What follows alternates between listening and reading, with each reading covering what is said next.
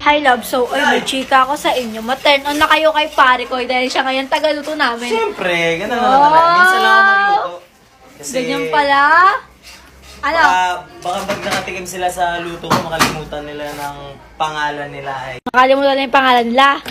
Buang gwapo mo! Ang galing mo maghiwa! Pantay-pantay!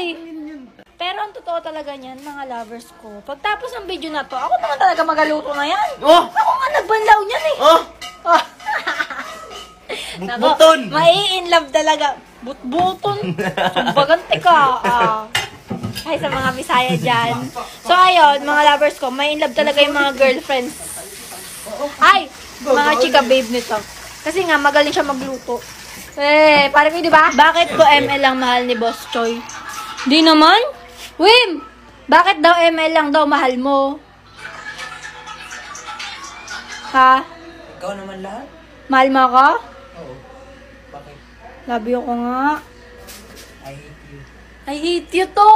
Sa pakin Ate, sasasama ka ba kay Idol JM at Mindanao? Love! Sa totoo lang. Hindi ko alam. Ba si pare ko yan, sumusegue yan. Gwapo. Wait, ay pare ko, makuyog kog Mindanao? Makuyog kog ba? Kuya, kag Mindanao? Oo. Sure ka? Hindi, nagkatanong sila. Ay. Kuya, Makuyog wala, ba Mindanao. Ay, kaso lang, wala.